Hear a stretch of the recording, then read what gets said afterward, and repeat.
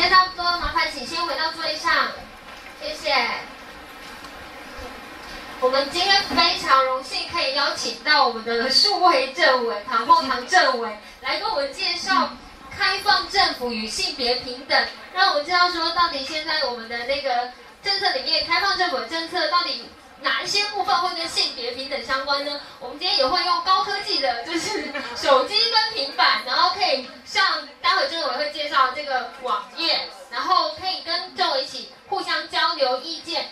希望大家都可以踊跃的趁这个机会好好问一下政委，就是一些嗯政策上的问题。好，就那我们接下来欢迎唐凤堂政委。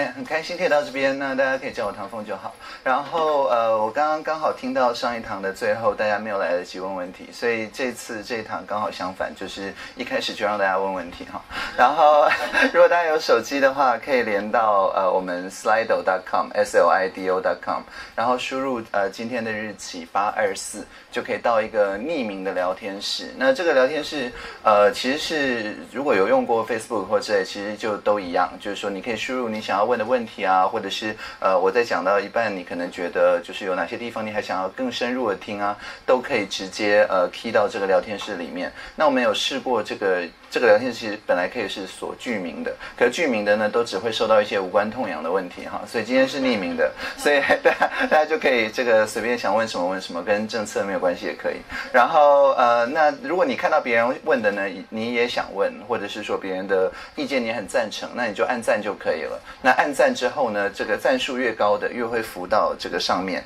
那在这样的情况下，就是我就会从赞数最高的开始回答起，然后呃，通常就是一直到就是。是呃，看什么时候六点半嘛，对不对？就不要耽误大家吃晚餐就可以了。这样，然后所以现在就是很欢迎大家直接连上去。然后虽然这台电脑连 WiFi 好像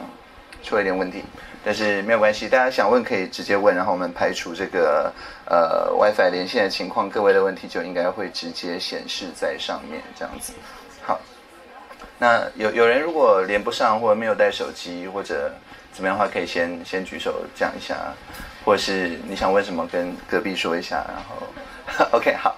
那呃，那在大家在连的时候，我们呃，不好意思，紫薇，那个可以把我包包那给我吗？因为网络好像连不上，谢谢。对啊，我用用手机连，嗯。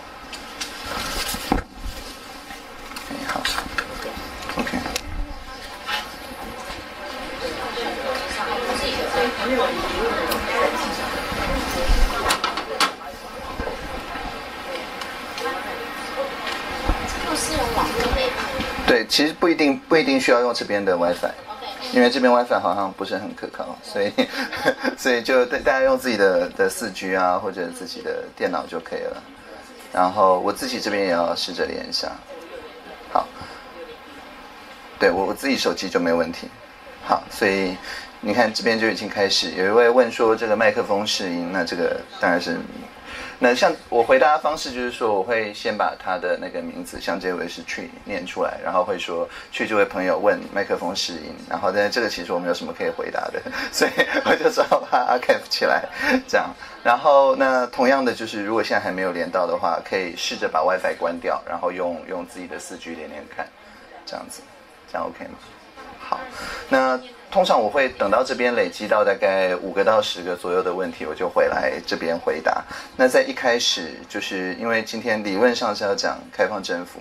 那开放政府其实是一个跟就是性平一样，它是一个非常像是文化素养这样子的一件事情。它其实并不是一套这个固定的方法。那所以呃，我待会儿会放一些影片，就是我们为了要跟就是大家介绍开放政府，我们在农历过年的时候拍过一个影片，然后在稍后又拍过一个影片，大概讲一下。那呃，其实它这是一套价值啦，就是说开放政府的目的是要让人民跟政府中间有更密切的连接，那增加人民跟政府中间的互信。那但是互信其实不是一两天可以养成的，那所以总有一边要先相信嘛。所以人民不相信政府那个是当然，因为我们从威权出来还没有多久，那所以政府可以先相信人民。那政府先相信人民的方式呢，呃，有几个。那第一个就是透明，就是先把我们正在做的事情先很容易的让大家可以知道说我们正在做什么。然后接下来呢，我们透过这个透明的各种不同的方法，去让呃不习惯可能文字比较习惯图像，不习惯图像比较喜欢影片或互动，各种各样不同的呃。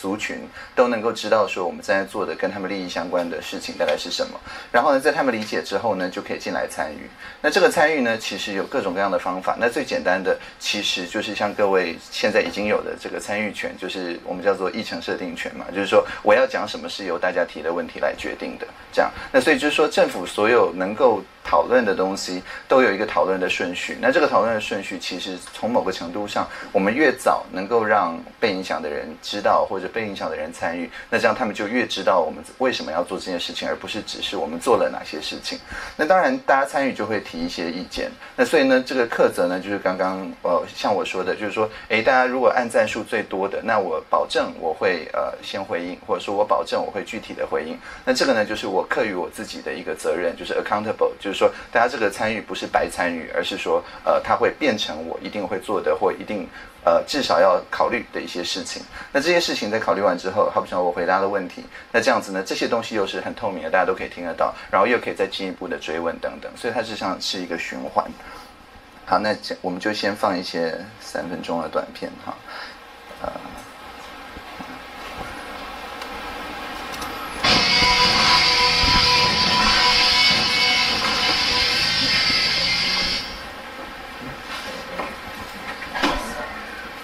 电视机前的爸爸妈妈、爷爷奶奶、阿公阿妈、弟弟妹妹、叔叔阿姨，大家好，我是唐凤，很高兴有这个机会跟大家拜年。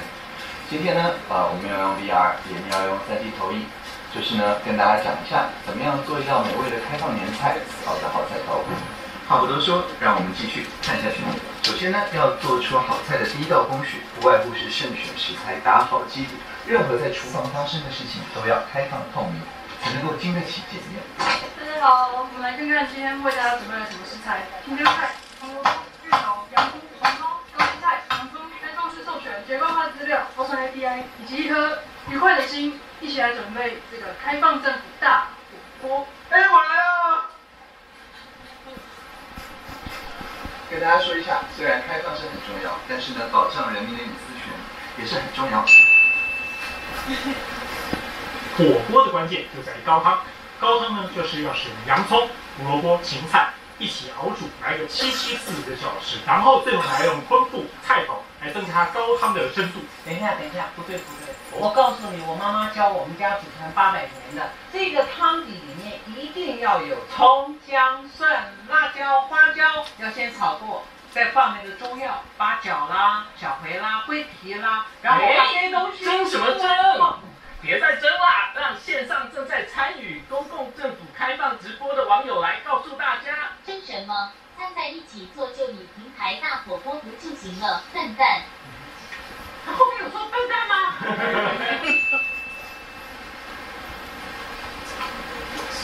嗯，这食材真新鲜，是谁负责的啊？哎，是我。哦。啊，这汤头真甘醇，是谁负责的？是我，我，我，我，我。这火锅最重要的就是蘸酱了，所以我说那个酱汁呢，放上。呃，没事。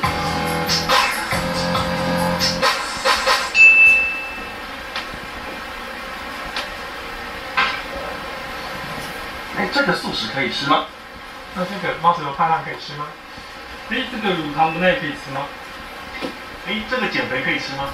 大家放心，我们火锅制定的过程不但从最新起就纳入了各界的专业意见，而且呢，在过程里面也会照顾到各个不同的利益相关的群体的声音。只有这样子，才能够让全民的腰围那个幸福指数达到最大值。吃了，我从来没有吃过这么开放的火锅。食材的料理方式都公开在里面，参与的关系人都可以尽情的发言，再配合逐字稿的发布。才让外界了解料理的过程。为什么？为什么要让我吃到这么开放的火锅？要是我以后吃不到怎么办呢？没有关系，不怕吃不到，现在就上 p d s 点 tw 公共数位创新空间小组的网站，让大家随时都能够更新开放政府资讯。预祝大家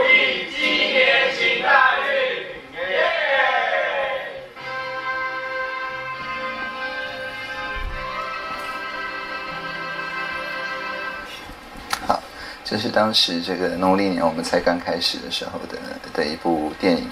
然后后来这个当刚刚大家如果眼尖会看到我们当时的 PTS 小组这个性评上面是非常的有努力空间的，所以呃 对对，那但是这个后来我们是非常有意识的这个就是增加我们小组的配置，所以我们现在的这个性评的状态是好的非常非常多。然后那虽然就是替代役的部分真的没有办法，但是除去替代役的话，这个 ratio 是是相当好的哈。那所以在呃当时我们所做的事情，其实就是呃做了一个开跨部会的开放政府联络人的一个制度，就是说让每一个部会都有呃。一个人他是直接向他的资讯长，通常是次长 report，然后他所做的事情呢，就是处理这种民间想要的，而不是政府想要的讨论的事情。那但是呢，大部分这种事情其实都是跨部会的。那这个时候他就需要一个跨部会协调的机制，所以我们就每个月呢，就把每个部会的所有三十二个部会、四十几个开放政府联络人，呃，凑在一起，然后我们自己也用内部民主的方式去投票，说我们这个月到底要处理哪些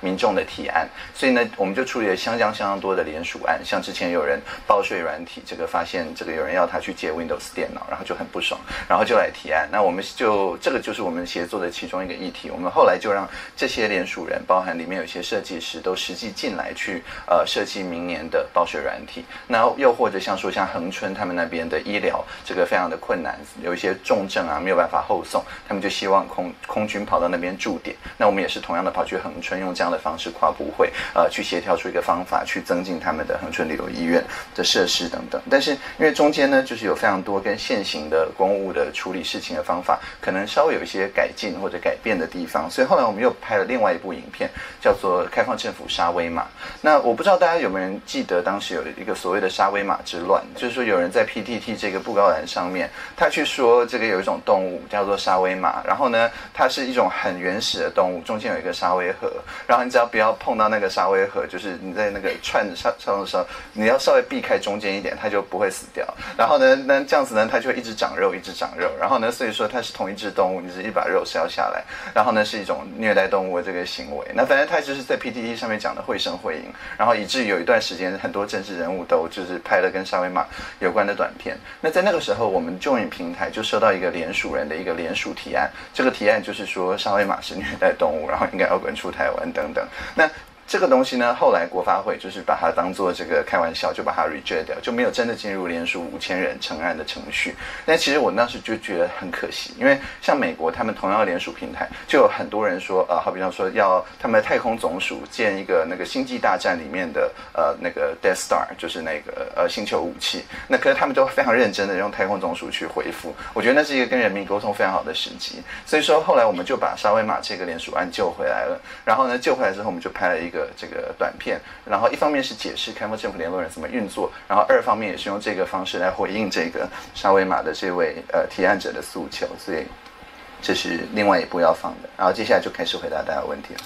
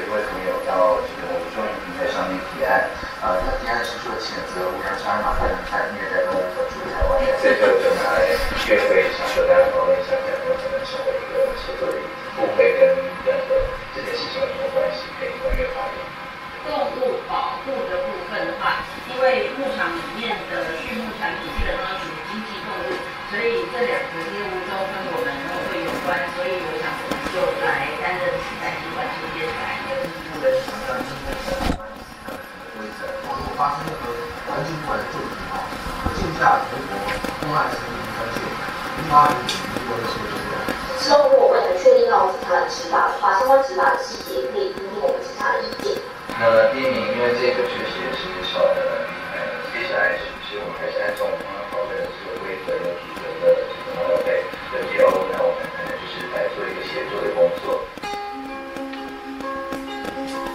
哎，大家好，今天很高兴大家来到这个公共申请联络人的周会。我们看到最近正在烧的这个案子的提案人、联署人及其他利益相关者，还有各部会的联络人们，其实都呃齐聚一堂来这边进行讨论。那虽然这个提案用的是比较情绪性的字眼，我自己也非常关心动物保护，但希望我们先能够放开心，用聆听的方式，先看看大家对这件事情的想法跟经验是什么，我们再来看怎么精进政府的作为。大家早安，我是庄问方瑞，今天跟大家介绍一下我们会进行的流程以及方式，从问题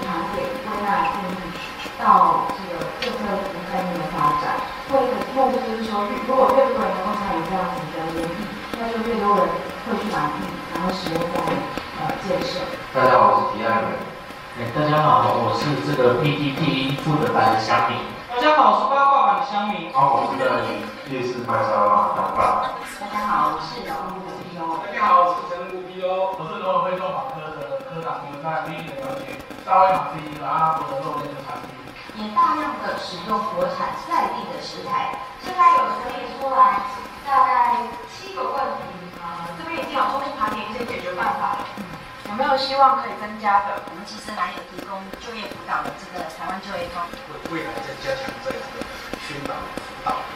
然后帮助我们这边找出一些创业和行销。每个市场其实都会有指数，那这个部分的话可以结合资料来说。假设日后真的有这种类似沙威玛这种东西稀有动物出现的话，现在的法律到底是不是有足以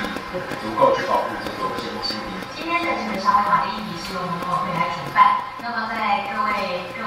协助之下，那我们现在很高兴呢，就是我们的提案人跟一个相关人都出席了，和大家一起讨论，才扯出了这些问题。那此外呢，经过大家的共识的沟通呢，我们也同整出这些解决的方法。我们今天所有的产出呢，都会上传到我们的数位白板上面，沟通今天所有的与会者能够在日后刷屏的时候，那可以上网去参考。谢谢。很谢谢大家在这个星期五，花了三四个小时左右的时间，大家彼此对焦，也达到彼此的理解。那这边呢，我们盘点出一各部会具体可以协助的事项之外呢，我也看到说，哎，我们会需要发布一个新闻稿来澄清这个现实。所以说，呃，我在星期一的政务会议上，我们跟院长其他政务人员讨论一下，是不是看新闻传播处可能用一个微电影的方式，大家一起来把商法这件事情跟大家讲清楚。谢谢大家。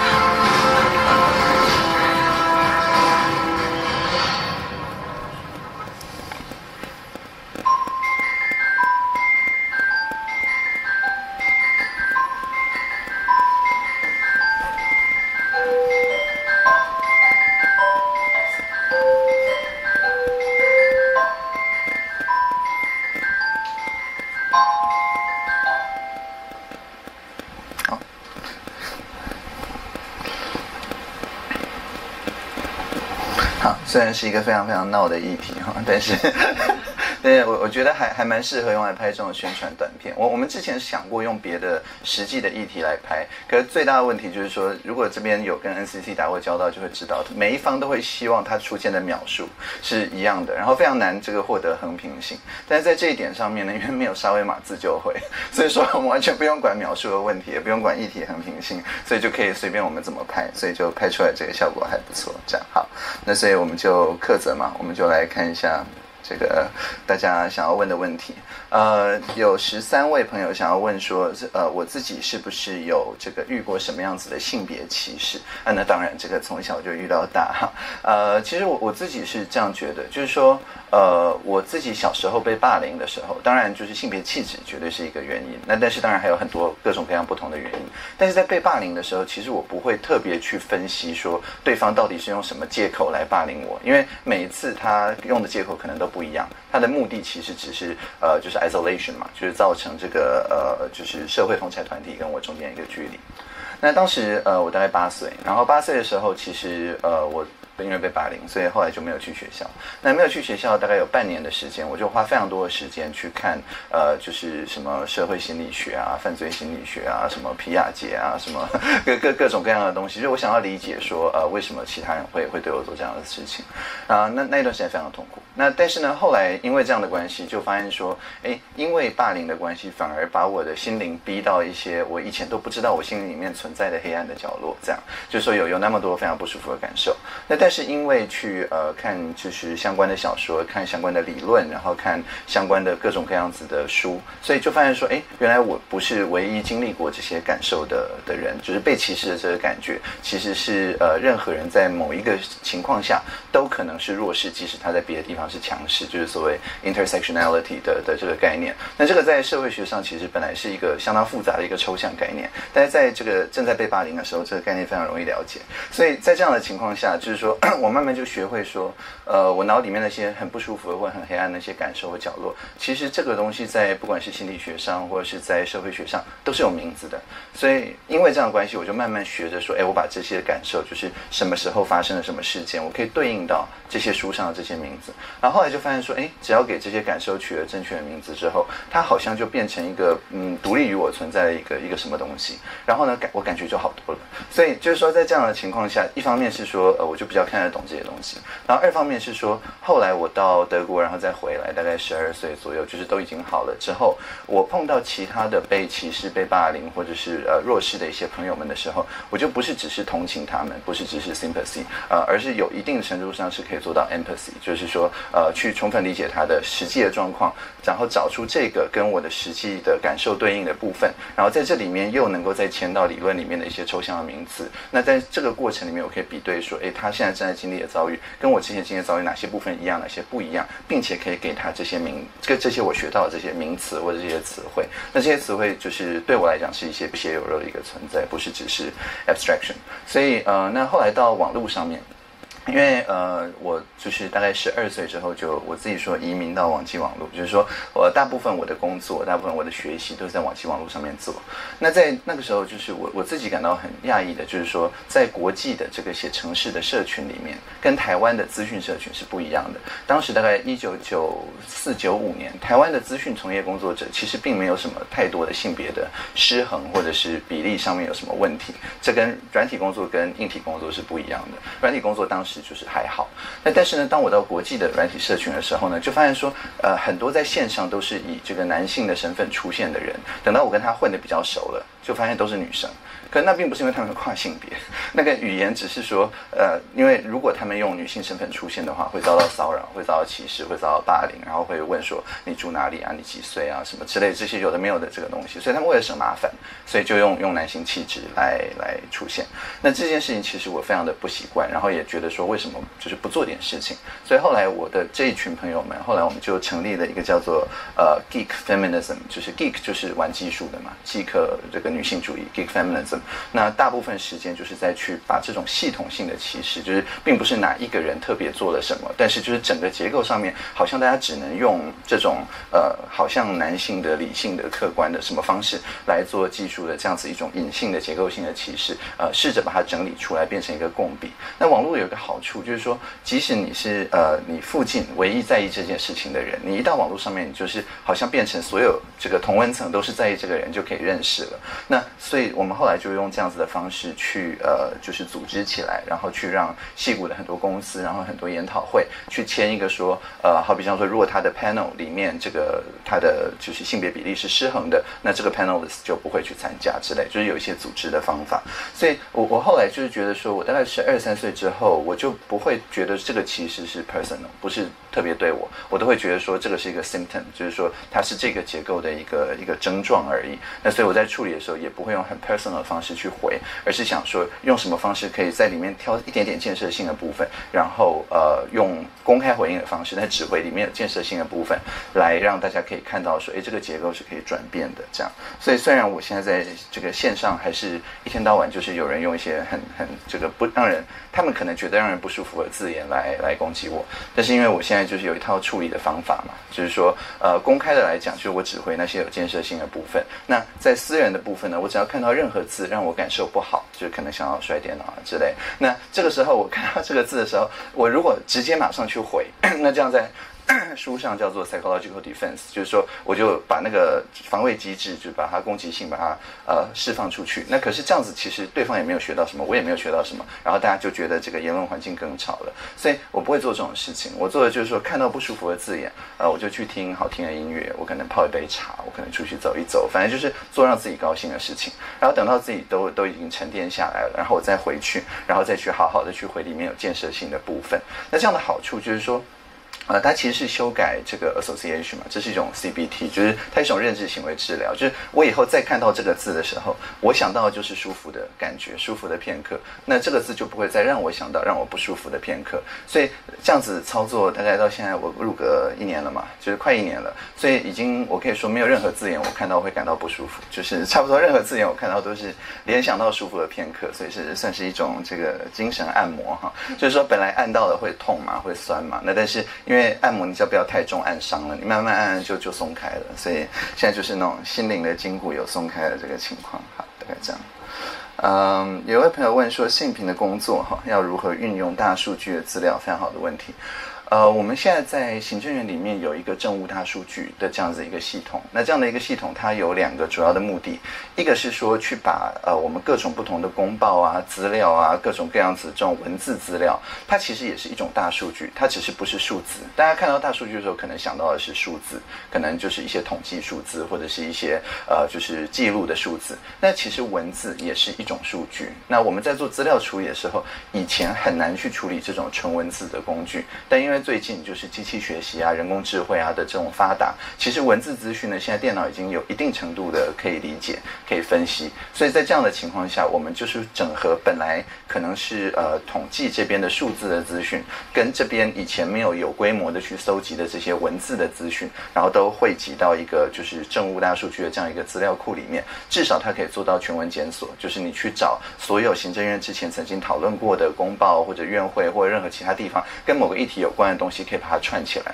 我们在院里面事实上是非常落后的，就是连连这种东西都没有，所以就是要先把这些东西建立起来。那建立起来之后，接下来就是你要问这个资料什么样子的问题，然后呢，我们再去开放院里面的同仁或甚至第三方的开发者们，能够去开发出一些东西，去对这些收集在一起的资料去回答。所以以我的理解，就是好像呃新传处，然后呃信评处这边都有都有呃提出一些对资料的问题。那目前我们资讯处也正在清。场上去针对这些问题去进行呃回答，那这里面就有很多可以问的，就是不管是某一件事情它发生的趋势，某个词它流行的趋势，呃，某些某些字跟某些字中间有没有这个联想的一些关系等等，都是我们现在的资讯技术可以去回答的。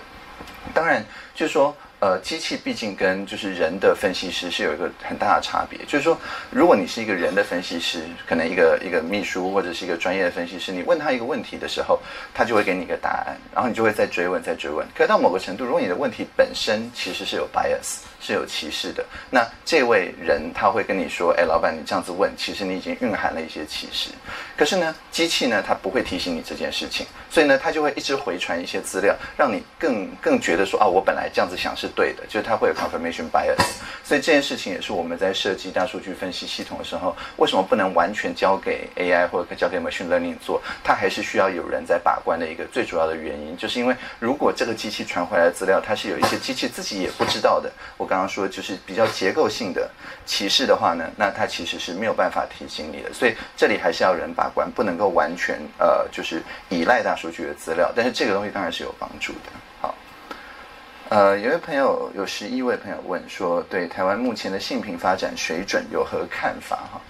这是非常好的问题。呃，其实我没有什么 特别的看法。我出国的时候，大家都会问我，尤其是在那个同婚视线通过之后，就就会问说，就是就是意思说，你们是不是垂范亚洲啊，亚洲之光啊，然后什么这个领导这个区域发展啊，什么之类的这样。那但是我我会觉得说，就是一项单点的突破，它其实跟呃社会上面整体大家生活的这个怎么讲，就是这些隐而不显的呃。刻板印象的改善，它当然是有帮助。就是说，呃，你有一个标杆，有一个女总统啊，同婚实现过了等等，这些当然是非常有帮助。但是反过来讲，它也可能变成说，呃，我们就是看着这些标杆，呃，其实我们我们在做开放资料，得了那个连续两年全球第一，也有一样的问题，就是说大家可能觉得说，哦，我们已经做得很好了，那本来正在组织的，本来正在推动的，可能就稍微比较松懈掉，因为有一种说，啊，我们都已经做这么好了，那我们就去做点别的吧。但是事实上并并不一定啊，就是说跟这个相关的部分也许已经很好了，但是别的部分也许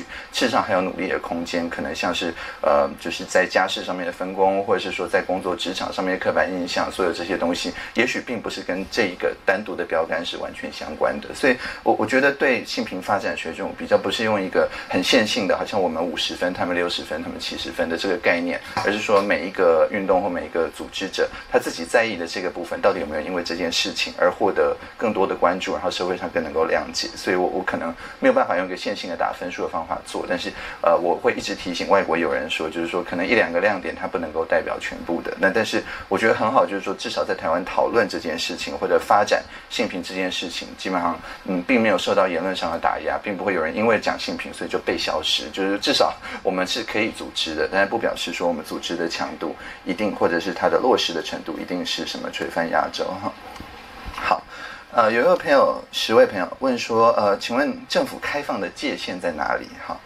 呃，其实我们是有资讯公开法跟行政程序法这两个法，那这两个法里面已经非常明白的把这个界限讲清楚了。尤其是资讯公开法，政府资讯公开法里面基本上有一些是一定要公开的，好比像说这个预算啊这种事情，大家想也不想就应该要公开；有些是一定不能公开的，什么国防啊、外交机密啊这些东西，一般来讲大家都知道不要公开，因为上面已经打了密件嘛，对不对？那但是介于这两个中间的，有一些是可以裁量的。那在政府资讯公开法里面有两件事情是可以裁量的，一个呢是关于呃公务人员在制定公务政策的时候的拟稿作业，就是说我们还没有核定，我们只是在想这件事情。我们在想这件事情的时候呢，其实是不用公开的，但是呢对公共利益有必要的时候是得公开，就是是可以公开。那但是呢这件事情就是。一个裁量嘛，就是说到底什么东西对公共利益有必要，这个是非常困难的。因为如果你觉得有必要，你的上级觉得没必要，你的上级的上级觉得有必要，那你如果上签到这一层就卡住了。所以我就说，大部分的时候其实这一条就会是比较偏不公开的这件事情，以至于说往往政策已经形成了，课纲已经通过了。好，我不应该举特定的例子，但就是说大家想要回去问说到底为什么做出了这个决定的时候，其实已经找不到资料了。那当然，因为我是这个呃做叫做 radical transparency，就是。激进式的透明，所以呢，我在呃牢固协商的时候，就是在跟院长谈这份工作的时候，我就很明确的说了两件事情。第一件事情就是国家机密，任何密件，所有东西，黄色信封的哈，我都不收，只要到我办公室自动。跑到一个涉密的餐室那边去，所以我完全什么都不看。我从进来到现在还没有看过任何机密相关的事情。国防演习的时候我也请假，所以就是我完全不知道任何国家机密。那但是呢，跟这个东西为什么？因为国家机密法说，任何系统你只要进了一个机密的东西，它的输出就会变成机密的东西。那这个系统是什么呢？就是一个我们叫做激进透明的系统。我们可以看到这边已经有三千八百零六则贴文。这些是什么呢？就是从我进来行政院到现在，所有的来访的、所有的访问、所有我主持的会议、所有呃，基本上就是任何事情哈，然后我都会用这样子的方式公开。然后呢，而且公开的方式不是只是把主席裁示，就是底底下的那个结论公开，而是把整个过程都公开。所以在每一次的会议里面，你就可以看到每一个人在每一个时间讲的任何一句话。然后，所以加起来是非常大的，可能已经上千万字了的的这样一个非常大的资料库。那做这件事情，你说有没有阻力呢？其实是没有什么阻力。那为什么呢？是因为虽然我是这个很激进嘛，我说我从进来开始，我主持的所有会议，我所有人来行政院拜访我的讲的每一个字，我都觉得对公益有必要，所以我预先做了一个裁判。然后行政院长已经同意了，行政院里面也没有比行政院长大的，所以这样的情况下，就是说我我在等于呃新就是政府咨询公开法这边是已经完全踩到一个最透明的一个位置上，就我所有的拟稿作业。都得公开，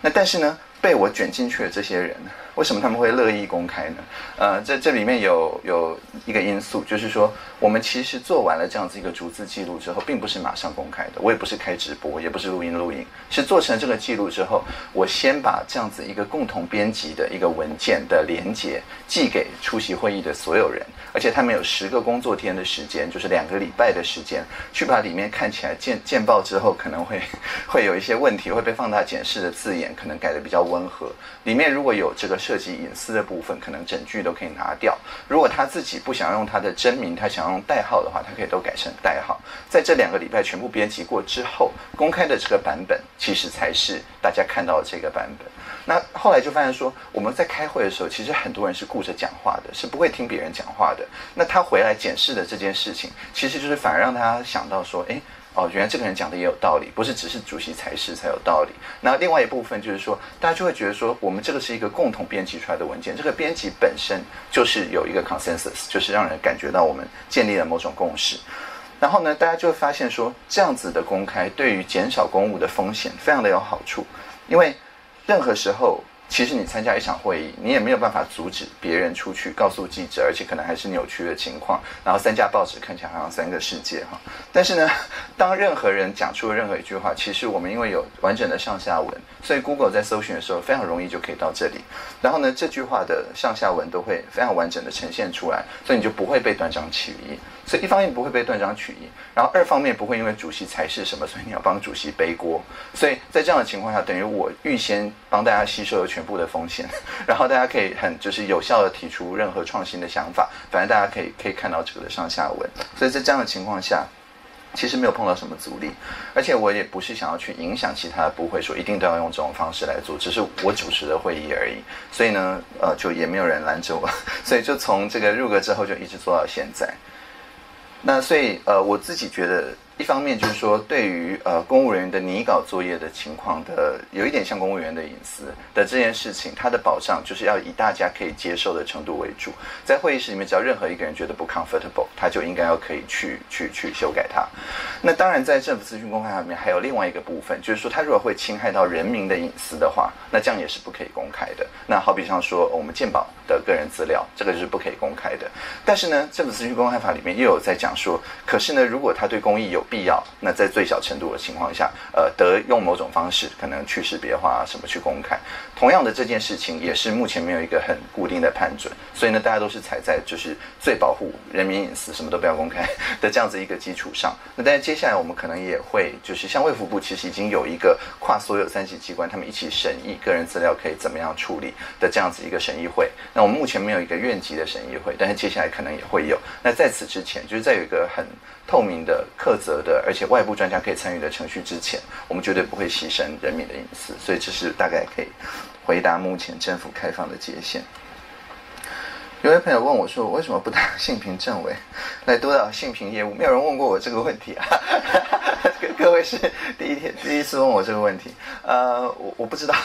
呃，我我们我本来进来呃内阁的时候，当时好像是美珠政委，对不对？是是性平政委嘛？然后我记得当时关于呃，就是同婚在视线前，就是行政院这边呢有好几波沟通，然后关于身份证注记，对不对？还有反正还还有好几件事情，那他其实会来问我意见，这样我们有有一些讨论。那当然后来就是呃同婚的这整整件事情在视线之后，目前是秘书长带着就是各部会来讨论。那我我自己当时就是秘书长也有问过我说，呃这件事情需不需要再交由网络讨论，交由开放政府程序等等。那但是我当时的想法是这样子。就是说，第一个，法务部其之前其实已经在平台上面做过讨论了。那这个讨论，这个讨论事实上，呃，在在今天我们完全纯粹用网络做的话，它的品质也不会更好。你若要大规模在全国同时讨论，像能源白皮书那样子做，其实说真的。就是它需要的编制，实际上是大过我们大部分这种联署案的编制，绝对大过沙威玛的编制了。所以，我我后来就觉得说，既然这个大法官已经讲的那么清楚了，其实我们好像重点是把这个东西呃常规化，而不是说再去问一轮大家对这件事情的感觉或意见是什么。所以当时我是做了这样子一个建议，这是我目前唯一跟性品业务 有关的有关的业务上面发表过的意见哈。那所以，所以我不知道，因为也没有人问过我这件事情，所以我我不知道我适不适合，或者是要不要打督导新品的业务。那所以，所以很抱歉，那这个问题我没办法回答。嗯，我我自己知道的是说，呃，目前在院里面，其实即使没有一个性平政委，性平处好像也还是可以，不管是秘书长或者是院长，是会用各种各样的方式去调其他部会的资料。但但是如果大家觉得有什么就是困难或具体碰到问题的话，可能要用更具体的方法提出，然后我再看看我有没有可能帮忙。这样好。呃，有位朋友问说，呃，上引号母猪叫上引号，呃，是台当下台湾男性呃网络族群主流意见，或者又是一个上引号 P P T T 反指标下引号现象哈？呃，我想证明一下，就是呃母猪叫就是比较适合的名字，可能是是公乳叫哈，就是说呃就是说它它呃好没有。很少人笑出来，在那个 PTT 这个 这个八卦版上面，呃，讲讲母猪教的这群人，他其实是通常在是会自称鲁蛇。那什么叫鲁蛇？就是在社会上面属于这个就是输家族嘛，他们自己觉得是输家族的的人。那因为这样子的关系，所以广泛的有一些这个很奇怪的丑女的一些言论。但是为什么呢？是因为这个就是吃不到葡萄说葡萄酸，大概是这样，而且他们自己都承认是这样。所以就说呃，就是这个。母猪叫，它它其实，在某种程度上面，它是也是一种在网络空间里面去找。我刚刚说，就是可能它在它的附近是一个小众，但到了这个网络上面，就会集结起来，变成好像是同温层里面的一个大众的这样一个情况。所以我觉得这是一个自然的情况。那只是。问题就是说，这件事情形成的就是 PTT 的八卦版跟一些相关的版，刚好呢，在最近几年有大规模的被政治动员，就差不多二零一四年选举的时候，因为大规模政治动员，所以又变成主要的政治版，所以就会变成是说政治动员跟本来的就是真的只是八卦的这些八卦版就有点混在一起，然后因此就好像变成看起来像是主流意见哈，这是台湾 PTT 文化的一个非常有趣的一个一个流变。所以第一个，我不觉得这是男性网络族群的。主流意见，然后第二个，我觉得这件事情它其实就是一个呃，在某些社会情境底下的人互相安慰的这样子一种符码。那第三个，我不觉得它实际上影响到了八卦版上面的公共政策讨论，事实上是完全分开的。但是呢，目前对确实在同一个版上面出现，所以大家看的时候心情可能会受到影响。那这是具体的回答啊。呃，有一位朋友问说，性别意识的启发哈，关键是什么？呃，我刚刚我刚刚讲的，其实我我差不多什么东西的启发都是大概八岁被霸凌，然后九岁慢慢复健，然后看了非常非常多的书。呃，我自己看了什么书是有启发？我看了 Judith Butler，对，那那个非常非常有有启发。呃，Butler 是一个做性别理论的，那他的呃。他原用的理论跟我当时比较熟的，就是心理学，其实是一脉相承的，然后跟一些哲学，欧陆哲学是一脉相承。但是他发展出来的理论就是说，哎，性别是一种展演，然后这种展演它是在就是别人怎么样子称呼你，然后这个称呼本身你要怎么样去回应他的这个过程里面去共同建构，等于你跟社会共同建构出性别来这样。那呃，因为他用的这样子一套论述的方法，以及他所援引的东西是我熟悉的，所以当时我就非常非常买单那一套。所以我我觉得。重点还是呃有一个连贯的连贯的理论体系，然后对我自己来讲，因为对我来讲，我对我来讲抽象的东西其实就很像小孩子玩乐高那样子，就是说他如果刚好兜得起来的话，那在我脑里面就可以形成一个很连贯的思路。但是如果他援引的时候其实是乱乱连或者兜不起来的话，那其实我看的是没有办法看懂的，我会一直想办法呃找 reference 到看懂为止。那呃我当时看 Butler 或者是他那一波的，就是讲所谓的。Performative gender 或者是甚至 post gender 的那一套，我觉得跟我呃之前所受的哲学或社会学的一些相关的影响是比较连得上，所以在我脑里这个乐高就这样堆上去了。所以要要说是不是 bias，可能也是有点 bias。但是到大概到十二三岁左右，我当然会看很多别的流派或别的理论，但是呃，我可能还是比较记得那一套，那一套可能是我主要的想事情的方法。呃，有人会问说，为什么公部门的系统设计都很难用哈？对使用者相当的不友善。对，那我想最主要原因就是因为系统设计的时候没有邀使用者一起来设计。其实一句话就讲完了。那但是我们说 UCD 就是 User Centric Design，就是把使用者放进来的这件事情，在我们的本来的招标啊或者这些程序里面，其实相当困难的。因为这个招标很多的程序，它是以一个怎么讲硬体建设，然后有一些很懂土木的或者很懂环境的一些委员，然后进来等等的这。种比较我们叫瀑布式的这样一种开发方法。但是呢，呃，软体系统的一个特性就是说，它并不是重点，并不是这个东。当然，这个东西本身是坚不坚固、耐不耐用是一件事情，但是它比较像是设计像筷子这样子的比较小的、比较 personal 的东西。然后每个人他用的习惯可能都不太一样，然后并不是就是单纯的一种方式就可以解决的。所以你要能够迎合不同族群的习惯。不外乎两种方法，一个就是说尽可能的多元的让这些使用者进来一起设计，像我们昨天才把各种不同的报税情况的朋友们都聚集在一起，然后跟使用者体验设计师一起去在纸上画出更好的报税系统的那样子一个流程，然后我们实际录下他们报税的过程里面什么时候皱了眉头，什么时候眼光飘到什么其他地方等等等等这样子一种有系统的方法去改善他们的使用者体验。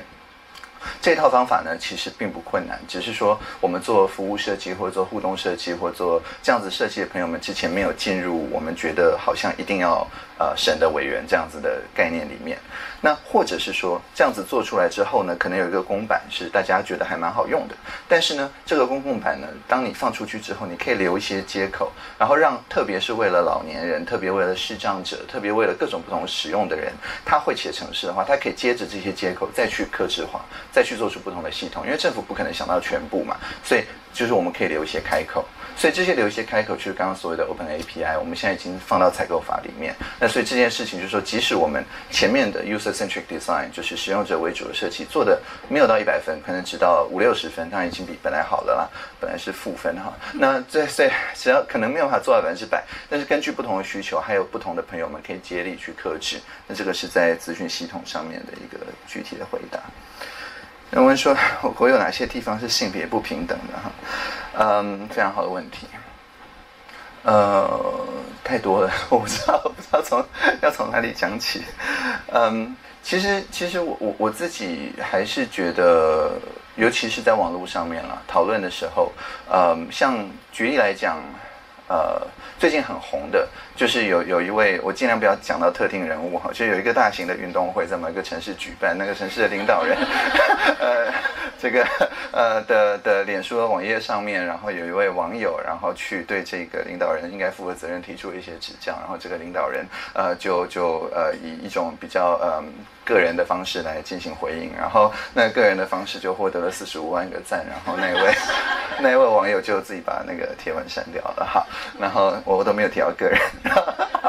OK，那那但是我们就可以看到说，在那位网友还没有自己删掉之前，就是大家对那一位网友的各种回应，他其实当然是非常不友善的，这个是可以想见。但是呢，他们的回应的方式其实是里面有高度的呃，就是性别冲突的的的用词，然后而且甚至还有人去呃说这位网友呃他虽然他的照片是一个性别，但是他事实上应该是另外一个性别的人什么之类，就是他们会用非常多的时间去做去做性别激化的一些修辞，然后。感觉上好像是说，我如果不这样子激化，我就没有别的透过网络的文字能够表达我对这位网友不满的方法。也就是说，这个就是类似母猪教这样子的东西出现一个成因，就是因为大家觉得说，呃，因为你在滑 Facebook 的时候看任何东西都只有六秒钟左右的注意力嘛，所谓短期注意力。那我们一个东西要呃能够扩散，你就是要在他看六秒钟还没看完的时候，就会想要分享。那这个时候你六秒钟的时间，而且只靠文字，你到底可以调动什么东西？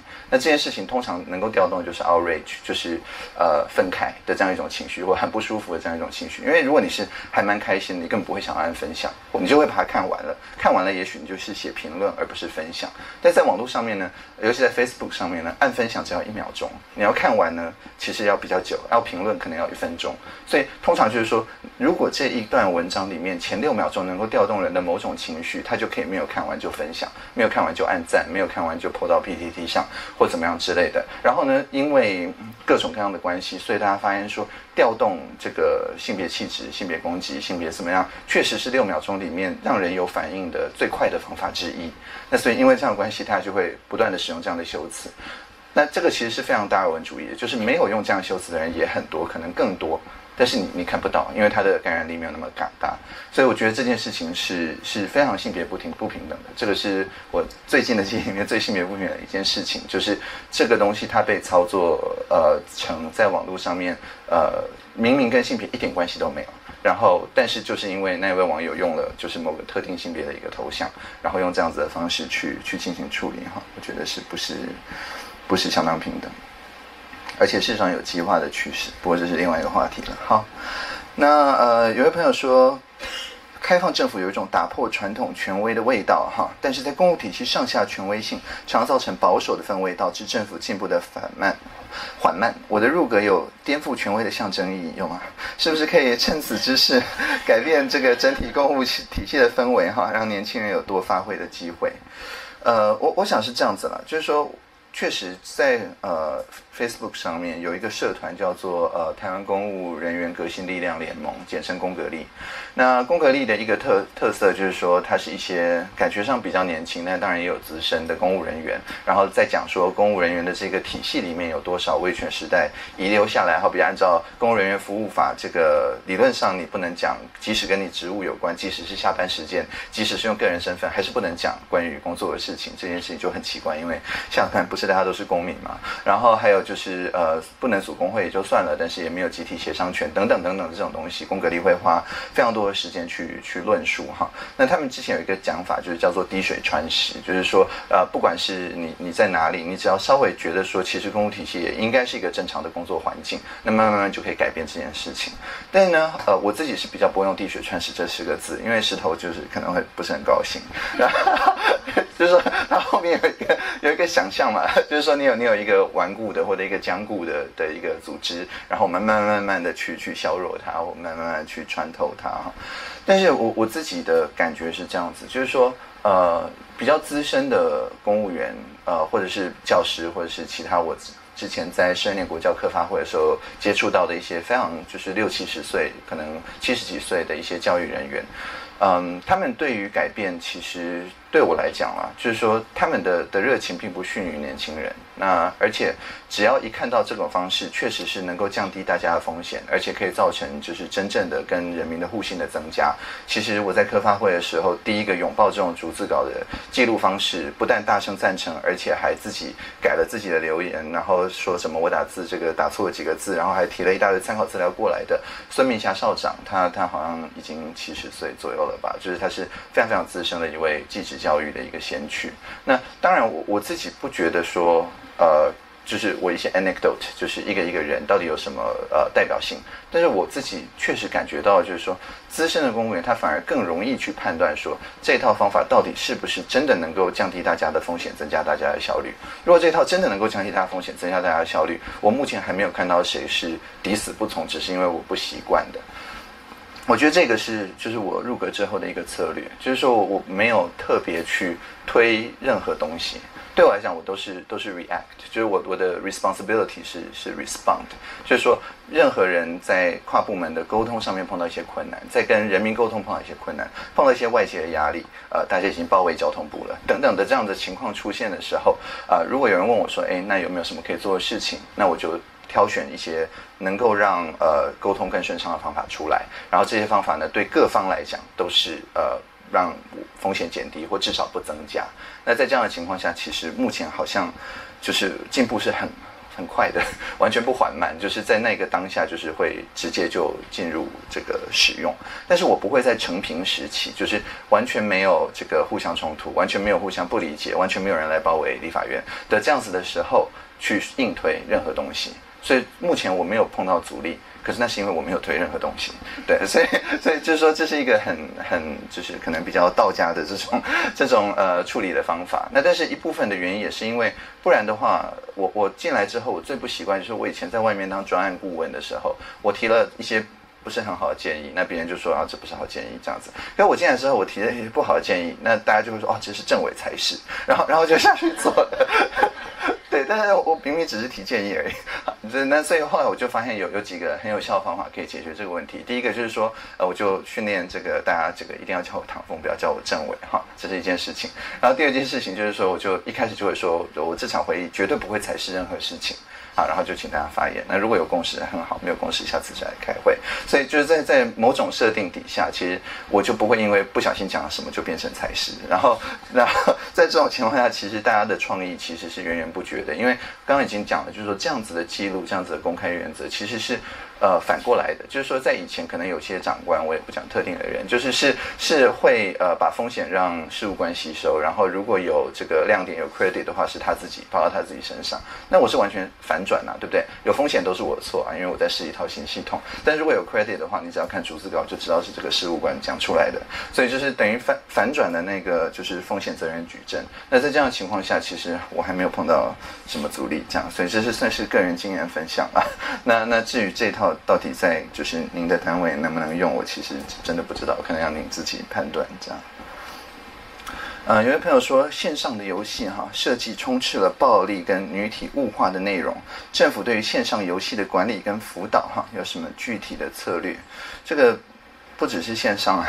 这个很多实体的游戏，就是从芭比娃娃开始就已经充斥了女体物化的内容了，所以所以我觉得这个是一个全面性的东西，我我可能。这边有几件事了，就一个是说，我们以前很久很久以前有过线上内容分级的的这样一种讲法，或者是线上游戏一定要打一个十八禁啊，或什么。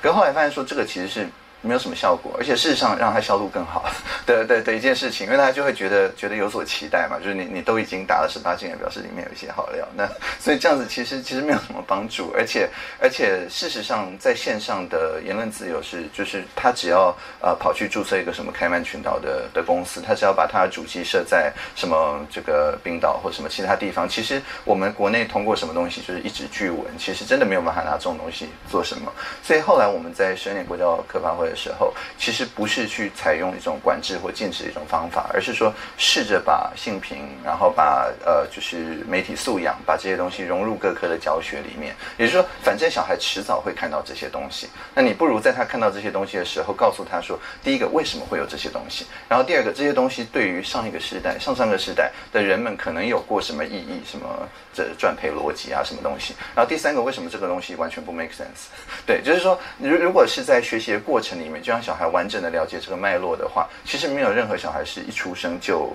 就就去物化这个身体，或者是就就对这个长得不一样的人有暴力倾向的。那只是就是在过程里面，他不断被 affirm 嘛。那所以，我我们的目前的工作就是说，我们不是直接对于线上游戏说，呃，你一定不能做什么事情，这不会像中华人民共和国政府那样子，就是只要 呃露出胸部那个整个游戏的呃图就会让整个画面往下掉一半，然后就是就已经看不到胸部，但是它的那个呃游戏的画面就因此就砍成一半。他们不断在做类似这样子的事情。那我我我自己是觉得真的效果非常的有限，而是让看到的人在接受到这个时候，不会把它变成是一个好像是纵容他，或者是好像这就是 OK，这就是正常的这种讯息，就是要提升这种批判性思考这种能力。我自己是比较觉得这个是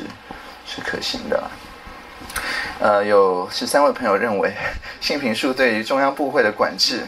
很弱哈，虽然可以叫，但是不一定动哈。然后 让让地方政府这个相当的难做，问题到底在哪里哈？我能不能够帮帮他们？我我我我必须说，我对性平术的业务所有的摄入就是刚刚讲的那些了，就全全部就这样子，所以我真的不知道问题到底在哪里。呃，我我们开开放政府线上咨询会议，把利益关系方邀过来，常常是在行政院第七会议室，所以就是离性平处很近，所以每次都会看到就是性别平等处啊，然后公共关系处啊，然后这些牌子。可是我我好像没有走进去过，所以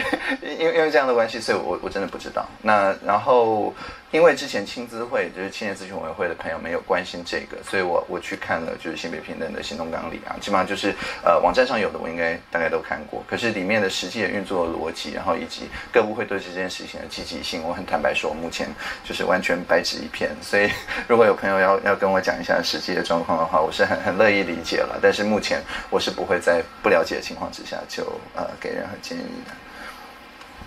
好，有一位朋友问说对年金改革的看法哈，这个非常非常敏感的问题，呃，我我我我尽可能这个诚实的讲，嗯，我我想是这样，就是说年金改革的这件事情是在竞选的时候就已经说要用呃多方利益关系人的方式来沟通的，可能第一件事情。然后对我自己来讲，年金改革也是第一次，就是当呃我对年金改革。这个委员会的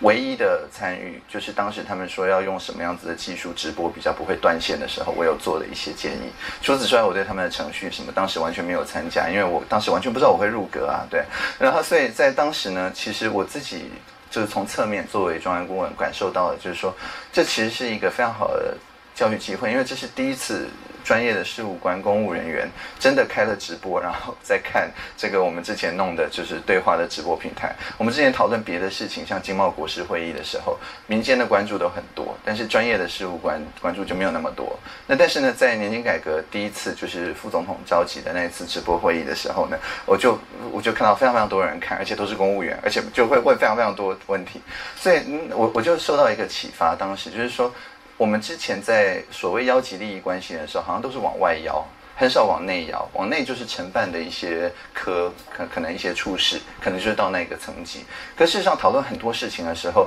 别的不是这个承办科处事的，可能也是利益关系人啊。像年金改革，所有人都是利益关系人啊。所以后来我就想说，那我们为什么不让这些利益关系人也有一些发声的机会？那当时我就是这样子一个感觉。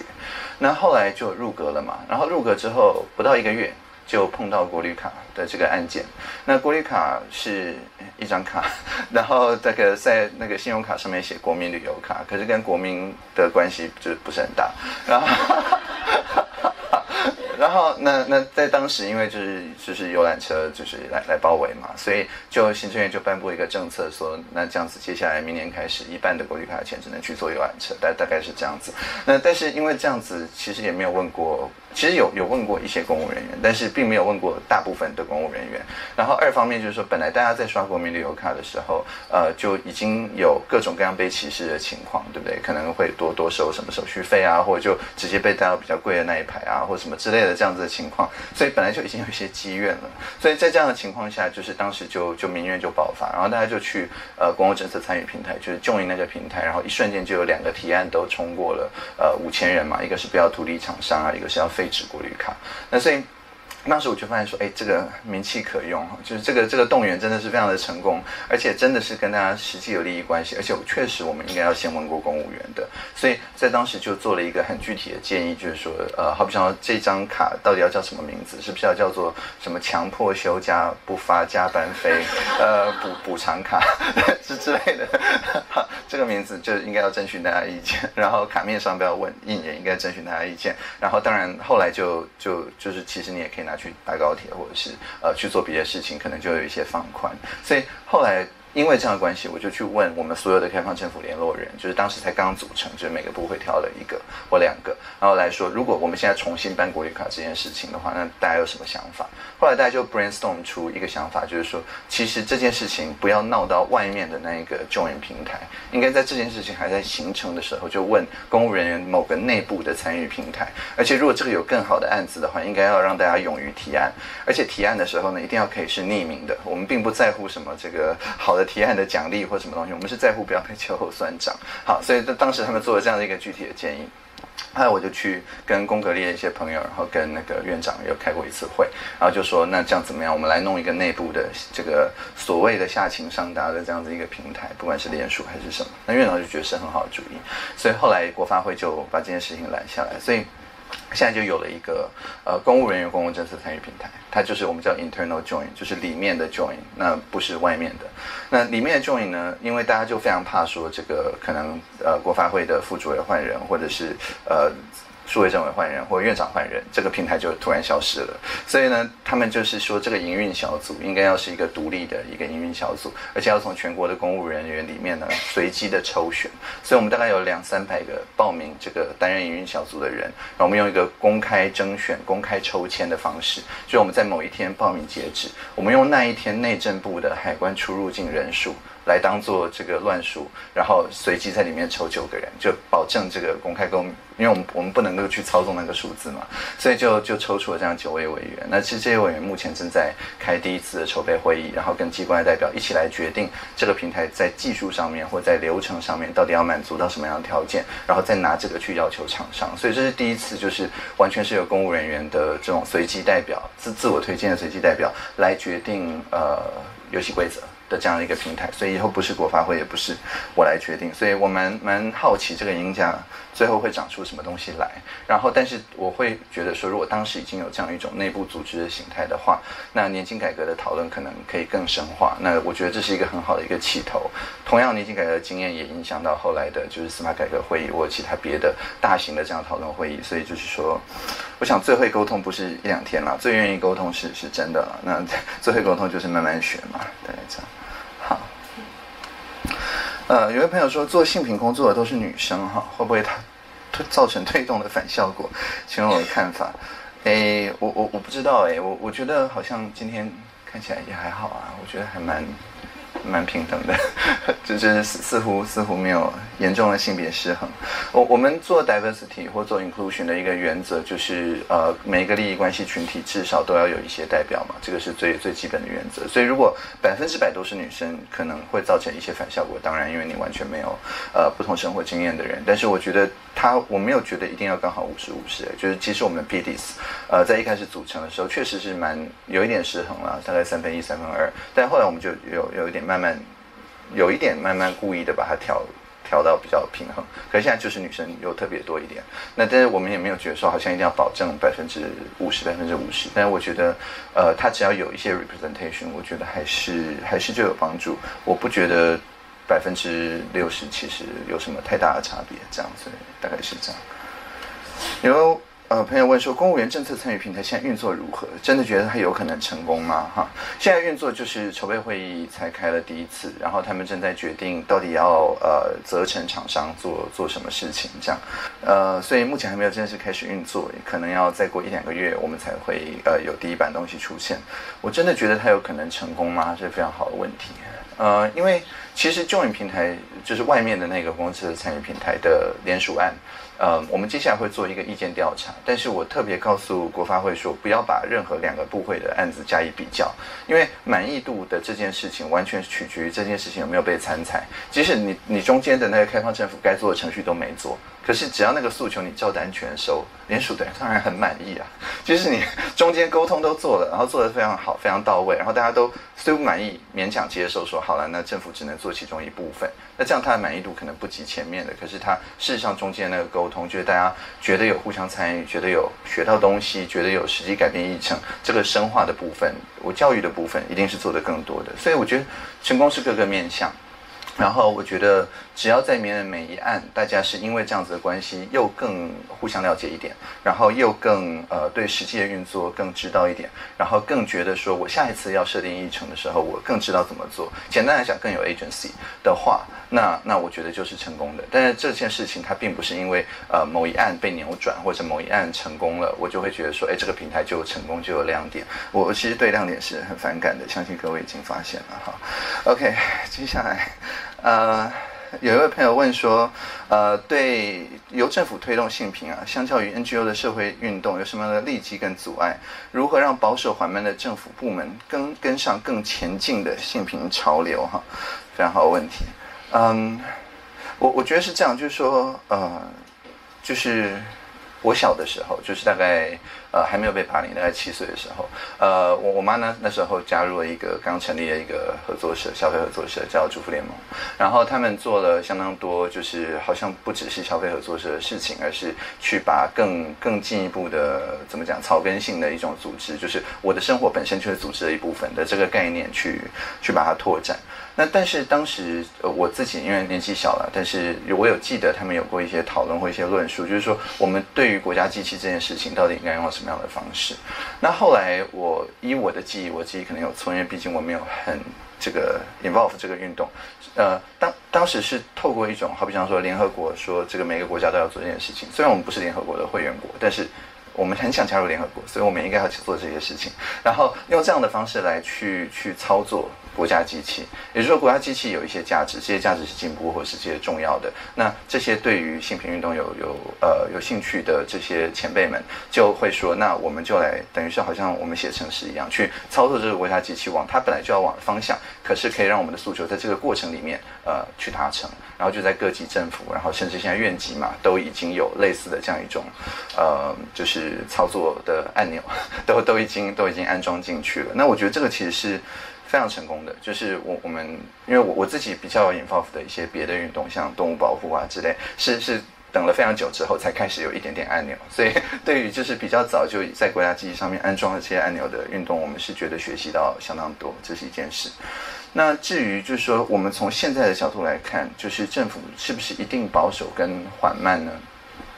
我自己做做开放政府的时候，各位可能刚刚已经听到我的做法，就是说，呃，我我会说我是一个 conservative anarchist，就是说我的目标到最后是政府做的任何事情，人民都要可以做，要让政府消失，这叫无政府主义。但是呢，呃，我并没有要在我有生之年完成它，就是我并不是激进的。我从反过来讲，就是说，我觉得我做的每一步，只要多往那个地方一点点，我就觉得是是很很好的一件事情。所以我不会一定要设定一个时程表，然后说各部会一定要在呃 KPI 一定要在两个月内、三个月内、四个月内一定要做什么事情。那这是我自己呃的生活的一个策略，然后也是运动策略。所以从我的角度来看，我并没有觉得政府部门在我想要呃做的就是呃无政府主义的这件事情上面太慢或者太保守等等。但我理解到说有。有很多有有诉求的朋友们会觉得说，哎，政府机器现在反应速度不够快。那我会觉得说，呃，同样的就是说，我现在正在安装一些别的开关嘛。那所以大家还是可以互相结盟的。就是说，呃，如果有更多的方式能够让承办的朋友们觉得说，他只要跟人民对话，或者是跟这个诉求一体团团体对话的结果是减低他的风险，而不是增加它的风险。它的结果如果是减低它的工作量，而不是增加它的工作量，这两个只要有一个，当然两个都有是最好。好，如果透过我们现在安装的这些东西，能够让这种事情多发生一点，那这样子改变在发生的时候就会比较容易。举例来讲，就是新创界的朋友们，他们现在在推这个所谓的创创新实验，就是叫做沙盒的一个概念。就是说我有一个创新，这个创新一定会违反一些法规。那在以前呢，我要去行政诉讼，要诉愿，要怎么样？这个成本非常的大。那所以呢，接下来他们就要立法院通过说，好，现在金融，以后在无人车，以后在别的部分，他可以去做一件事情，违反这个法规，但是呢，他只能违反六个月到十二个月。他违反之后呢，他就做一个实验，这个实验当然不能侵犯各自隐私这些。然后呢，他就做一个公开的报告，然后就各方一起审阅。审阅之后，如果确实法规要修正，这是一件好事。那这样子的话，去修这个法规的，不管是。主管部会，或如果是法律立法委员，它风险就降低了，因为这不是一个新的实验性的东西，它在台湾已经运作过六个月或十二个月了，所以我们就是靠这样子有系统的方式，去让所有碰到的人的风险都降低，那这样的话改变就可以比较快发生。那我不知道这个在新品上面要怎么使用，我只是 在讲一个一般性的概念哈。有位朋友说，呃，这个我认为跨性别只要改变生理性别哈，需要手术是否合理？这个就看他自己觉得合不合理啊，这个都是每每个人自己个人的事情哈。就是说，一个人的生理性别，他要通过手术改变到什么程度，我觉得就是完全是这个人的自由。那就就是这样子。那如果这题是问身份证或什么别的的话，可能有别的答案。但是如果是说生理性别的话，我觉得这就是完全是个人自由。呃，OK，接下来呃，有位朋友问说，开放政府的概念跟审议民主是否相同？是否因讨论过程缓慢与社会要求快速解决问题有所冲突而难以实现？非常好的问题。嗯，就是说，我们从完全从学理上面来讲，透明这一个部分跟审议民主。是完全是契合的，因为审议民主它要求 well-informed citizen。well-informed 的意思就是说，你来讨论之前，你应该要充分的了解，最好跟政府的事务官一样了解这件事情，才能够进行审议。但我们都知道，政府的事务官就是各位是花了非常多时间才学到这样子专业的职能的一个不相干的利益关系的公民，怎么可能在非常短的时间里面就就达到这样子的认知呢？所以就表示说要有就是。适合各种不同利益关系人的认知模式的这种方法，去让大家了解这件事情，而且是可以快速的了解到正确的资讯。那这些这些部分跟审议民主是完全重合的，就是说，呃，我们在做开放政府的同时，也是在为不管我们正在做这个议题，未来如果要进行审议式的讨论的话，累积越来越多，让大家能够很快了解到底政府在做什么的资讯。但是呢，在呃参与跟克责的部分，呃不一定跟审议民主是相符合的。就是说，参与有非常非常多种方式。如果我们现在要做开放政府，然后我们觉得说这件事情它不是透过大家面对面讨论，可能是因为大家面对面就翻桌子，完全没有办法讨论。它必须要透过我先跟一个人讨论，但是完整的记录下来，接下来给第二个人他的反方看我的这个记录，问他有没有什么意见，然后他提出他的意见，我再完整的记录下来，这样子反复反复反复，然后到最后形成一个决定。我们也有一些案子是这样子做的，这样子就不能叫做审议民主，因为大家并没有在同一个空间里面彼此倾听彼此彼此达到一致的共识的理解。但是这样子还是开放政府，觉得这还是一种参与的形式。所以我觉得说审议民主它当然是一种，如果嗯对立的程度没有那么高，大家能够呃心平气和的，而且是设定一个可能不是这次讨论完之后马上就做决定，而是有好几段讨论的过程，而且利益关系方都能够参与这个过程的制定的话，那审议民主是一个非常适合的情况。但是有很多议题，它在一开始的时候可能没有办法满足以上这些条件，那我们做开放政府的人就要决定说，我们是要。呃，尽可能去做政治运作，让它符合这些条件，然后去操作审议民主，或者我们就不用审议民主，而是用什么别的方式，让大家还是有参与，但这个参与可能不是审议式的参与，这样。但不管是哪一种形式的参与，到最后都还是要做苛责。所以我会觉得审议民主跟开放政府可能是有有交集的。那但是呃，我们对于每一个议题，它交集的程度会会不太一样。好，所以。对，就是说，如果社会对这件事情，它就是要求要快速解决，那我们有的时候真的只能够在这段快速的这段时间里面，尽可能给大家充足的资讯，让大家有充足的资讯之后，我不知道去公投还是怎么样，但是就是说，在这样的情况下，它不一定能够达成审议式民主的理想上面的一个要求，但它可以实践的程度是比较高的，所以大概这是一个学理上的回答。呃，有位朋友说，开放政府哈，对某个教育部的。提案，教育部就随便官方回应一下，毫无回应民众的提案有没有在最终有？呃，就是在我刚刚接任的时候，确实是这样，就是 Join 这个平台已经差不多变成鬼城了。鬼城的意思就是 大家对于提案就已经不抱什么希望，这样。那我我我觉得这里面有几件事，就是第一个是说他的那个成分可能就是把它当做是呃，就是一般的陈情案或者是部长信箱来回应。那但是这个其实它概念上有一个非常大的不同，就是说。他的回应至少有五千人在看，而且他每一次回应就是等于往这五千个人送这个杂志，等于这五千多个人订阅了政府办的某一个议题的电子报，所以说他必须要是好像是一家报社的社长或编辑这样子的方式在自我要求，而不是对于某一个特定的人的澄清性或者院长信箱在这样子自我要求，所以这个一开始设定就不一样。可是呢，当然当时就业平台架起来的时候的教育训练里面，好像。没有包含这个就是新闻编辑台的训练，所以就是大家在接到这样子案子的时候，他的首先的认知就是跟他业务里最像的那个部分，那所以就会产生没有办法对焦的情况。那这个部分我们现在有在用工作坊，然后用各种的方式去让大家了解到说，并不是这样，而是我们要把它当做一种自媒体来经营，这是一件事。那另外一件事情就是说，如果碰到超过他的那个权责，有的时候并不一定跨部啊，有的时候是在单一部会里面跨三级机关的时候，他。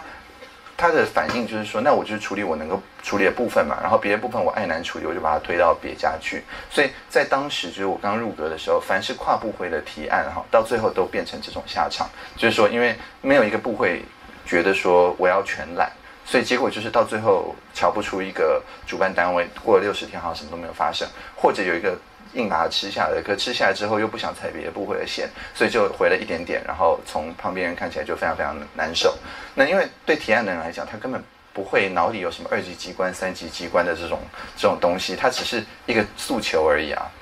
所以呃，我我入阁之后，我们经过跟开放政府联络人的讨论，然后我们就做了一些改变。有一个最大的改变就是这个要点的修订，就是说本来是说有一个主办机关，然后有很多协办机关，然后每次瞧这个主办机关，大家就会大打出手，然后所以这种情况下，我们就做了两个改变，一个是说我们去呃瞧主办机关的这个代表，是每一次是一个固定的人，就是我们的开放政府联络人，那每个部会至少有一个，可以有好几个。也就是说，如果大家有玩过最近这个我帮忙翻译的一个游戏哈，叫做《信任的演化》，就是两个人互相这个呃丢一个硬币，对方可以得到三个硬币的这样一个呃一个游戏。它是在教大家说，这个信任它必须要是靠持续不断的互动才能够产生。如果好比说你到观光区去买一个东西，你只会有一次互动，那其实大家是没有办法建立信任的，基本上就是先学观光课再说。所以在这样的情况下。每一次的承办在以前是不同的人，那现在因为有开放政府联络人制度，所以每次都是相同的人，所以这样的情况下互信比较容易建立，这一件事。那另外一件事情就是说，如果两个部会或两个机关彼此都认为彼此应该是主办的时候，那以前是要看哪一个出席的层级大，这种很很不科学的方法。那但是现在就是说，只要有争议，就所有，好比像说 A 认为 B 是主办，B 认为 A 是主办，这个时候两个就都是主办。然后或者说 A 认为 B 是主办，B 认为 C 是主办，这个时候 B 跟 C 都是主办，所以就是说，呃，任何时候只要瞧不定的时候，就大家都是主办。那除了一开始联络提案人之外，那接下来每一个部会就要去回他们有关的那个部分。所以这个我们在新的这个要点通过之后，呃，就明天了嘛，呃，就是要处理一个跨了三四个部会的案，就是在 FB 上面会出现很多那种诈骗式的购物广告，然后大家买了之后就会货到付款，然后你拆开来，你买的是 iPhone，但是他送一块石头来，对，然后又，然后但是呢，这个时候宅急便已经走了，因为他没有要等你的义务，所以你就要想办法退货，退货他就会说我要扣你运费，那扣运费就算了，可是呢，他就说我两个月之后再来收。然后心情就很不好。那这种事情其实不断的在发生。那这件事情其其实就至少牵涉到小保经济。它如果是境外进来的话，财政，然后交通部因为有货货运物流，所有这样子的东西。所以在以前的话，就会变成是一个单位吃下来，但它只能处理一部分。那现在因为有沙威玛那个影片里面的那个处理方法，所以我们就是三四个部会各自认领了自己应该处理的那一部分，然后我们统一的进行这样子讨论。所以第一个就是有追踪，而且有满意